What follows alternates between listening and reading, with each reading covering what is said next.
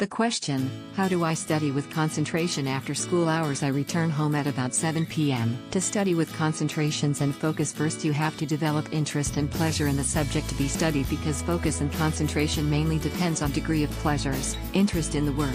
Rest of the things are secondary. If you have no interest then you are going to struggle with focused studies or concentrated studies. Primary things are interest and pleasure. For more answers, or more advice on effective studying, check out the links in the description below.